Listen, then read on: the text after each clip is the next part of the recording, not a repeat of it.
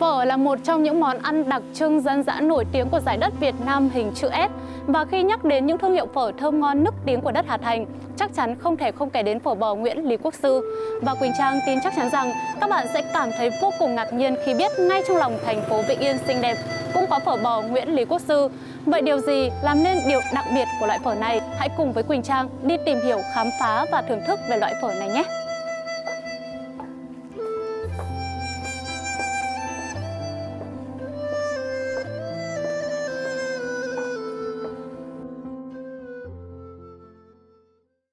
Em chào anh ạ. Phở Nguyễn Lý Quốc Sư thì đã nổi tiếng từ rất lâu và em rất là tò mò không biết là ờ, khi để làm ra một bát phở thơm ngon đặc biệt như vậy thì mình sẽ phải chuẩn bị những điều gì và ngày hôm nay thì anh có thể giới thiệu cho em cũng như quý vị khán giả được biết để ờ, công thức để làm ra một bát phở thơm ngon nổi tiếng như vậy được không ạ?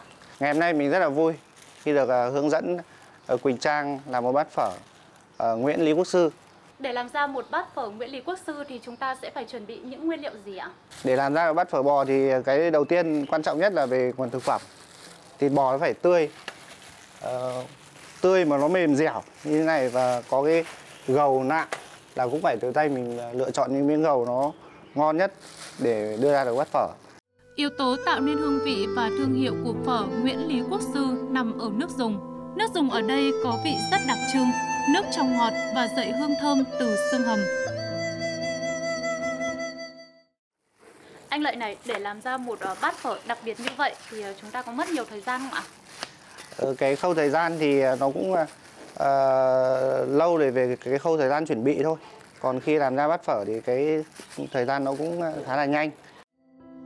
Hương vị phở ở đây rất đặc biệt, vừa thanh đạm, ngọt nước, vừa thơm dư vị dân dã.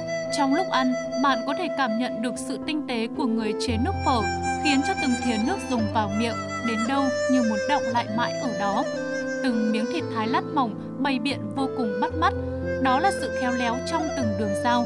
Hương vị của thịt bò cùng chút bánh phở cũng mang một hương vị vô cùng riêng và rất đặc biệt.